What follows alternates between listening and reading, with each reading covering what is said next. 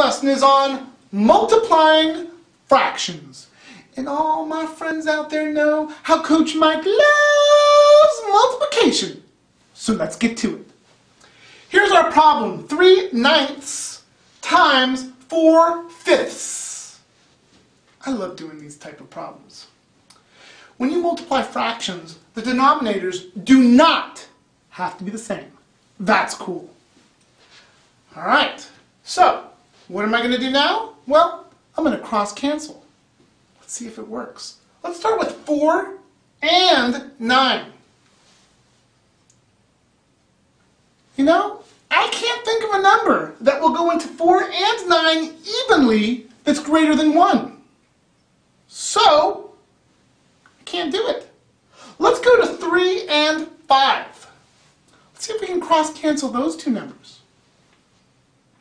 You know, once again, I can't think of a number that can go into 3 and 5 evenly that's greater than 1.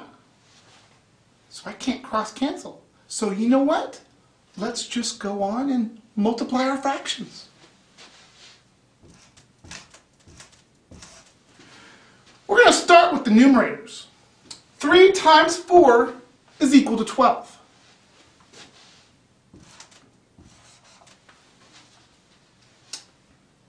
Let's move to the denominators. 9 times 5 equals 45.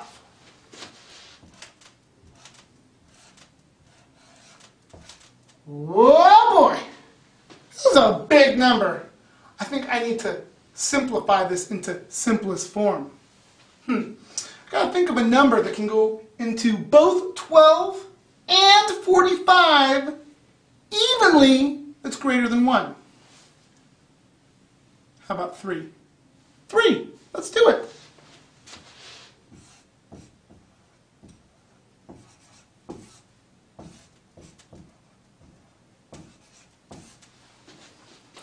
Now don't forget, whatever I divide the numerator by, I must divide the denominator by.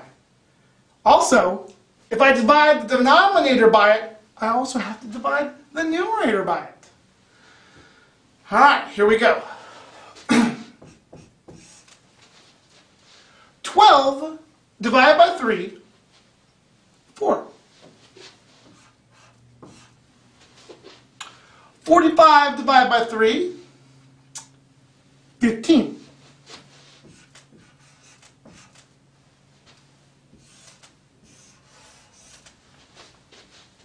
That is simplest form. 3 ninths times 4 fifths is equal 4 fifteenths. That concludes our lesson on multiplying fractions. Coach Mike at My Growing Brain. Challenge yourself.